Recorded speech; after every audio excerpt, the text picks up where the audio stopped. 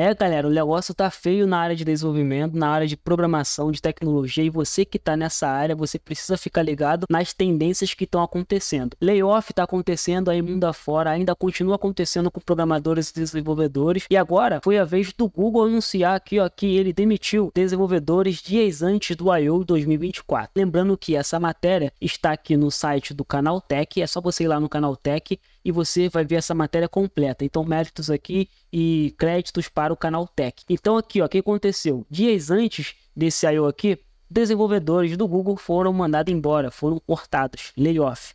Geral. O que, que é esse I.O. aqui? Esse I.O. basicamente acontece uma vez no ano, ou de período em período, onde pessoas, desenvolvedores, pessoas ligadas à área de tecnologia se encontram para fazer network, apresentar palestras, trabalhos, enfim. E tem uma galera que tá lá no Reddit, que faz parte, que foram demitidos, que estão nesse bolo da demissão, que estão comentando lá no Reddit. E os comentários são sinistros, são bem, bem, assim, impactantes. Como assim impactantes?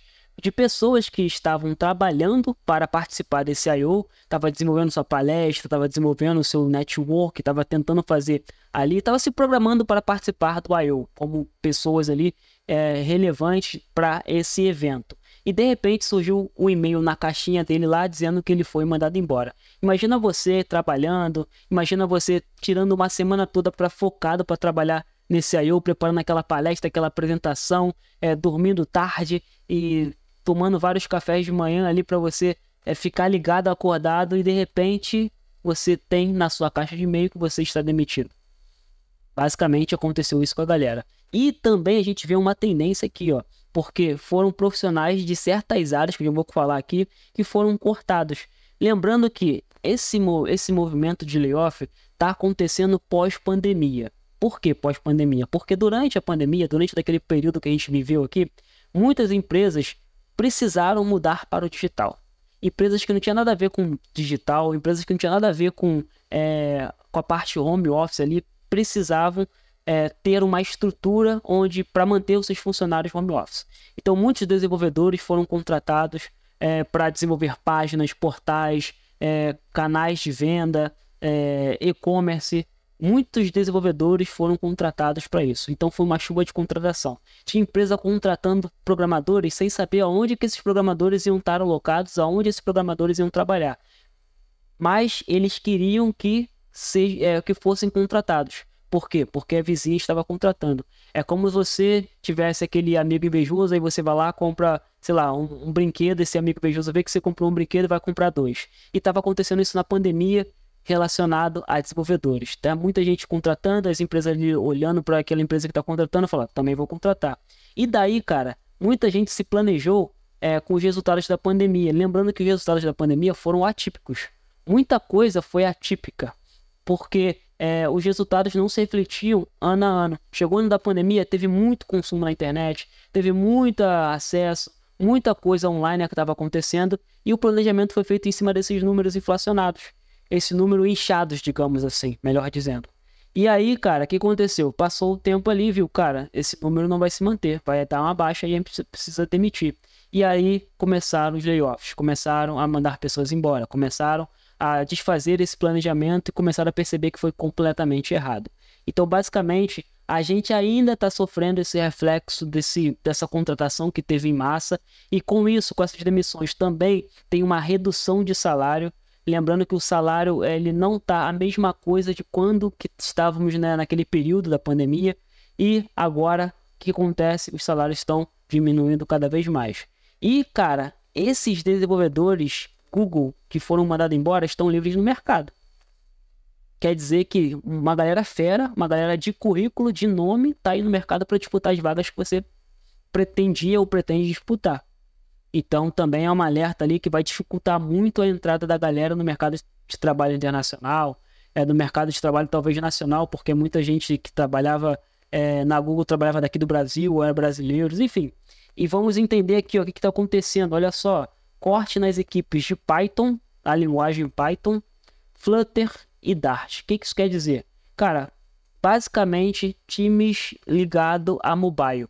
Flutter e Dart são necessariamente mobile. São aplicações mobile que você constrói.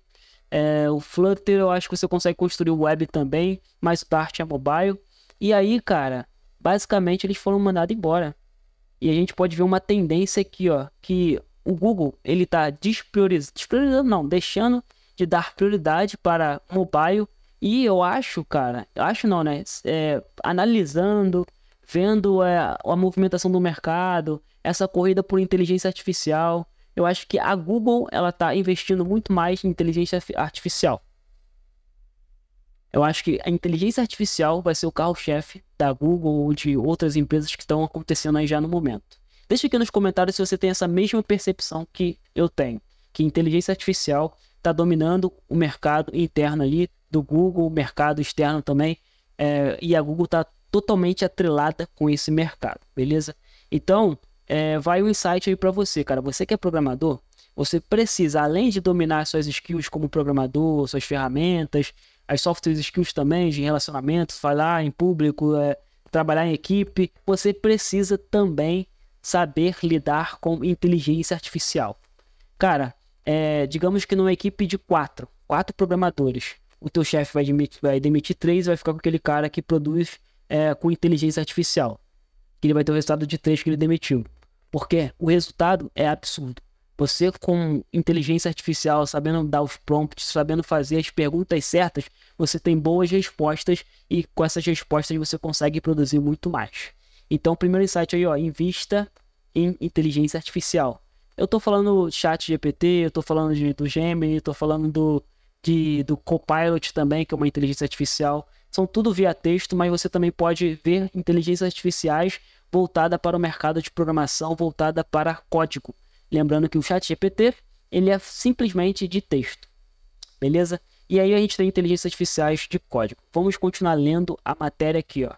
É para posicionar melhor essas oportunidades ao longo do segundo semestre de 2023 e 2024, várias das nossas equipes fizeram mudanças para tornarem mais eficientes e trabalhar melhor. Cara, isso aqui tá com cara de inteligência artificial. Removerem camadas e alinharem seus recursos as maiores prioridades do produto, as suas maiores prioridades do produto, complementou. Uh, beleza. E aqui, com tudo isso, com todas essas mudanças, o Google teve uma, uma um, um lucro aqui de 2 trilhões aqui que está dizendo a matéria. Se, se de um lado a apreensão e julgamento de equipe, e do outro lado a de comemorar. A Alphabet é, alcançou o valor de mercado de 2 trilhões na sexta-feira, dia 26 com a marca a dona do Google se junta aos titãs de tecnologia, incluindo a Microsoft, que já vale 3 trilhões. Pois é, com isso tudo, mesmo com essa demissão em massa, Google está só valorizando, beleza? Cara, fique ligado, entenda o que está acontecendo com esse mercado e tome as suas decisões. Será que é uma boa investir em mobile? Será que é uma boa você é, simplesmente é, aprender somente as ferramentas de programação? Deixe aqui nos comentários para poder saber. Por esse vídeo é isso, falou e valeu!